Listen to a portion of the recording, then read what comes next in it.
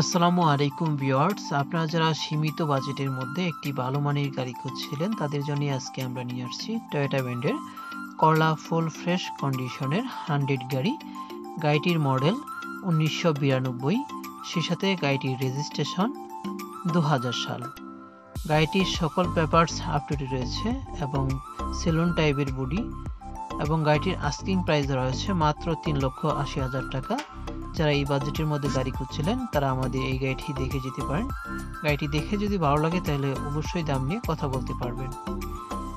আপনাদের জন্য আমরা কষ্ট করে ভিডিও বানাই। আমাদের ভিডিও যদি আপনাদের কাছে ভালো লেগে থাকে, তাহলে অবশ্যই একটি লাইক দিয়ে আমাদের চ্যানেলটি সাবস্ক্রাইব করে দিন।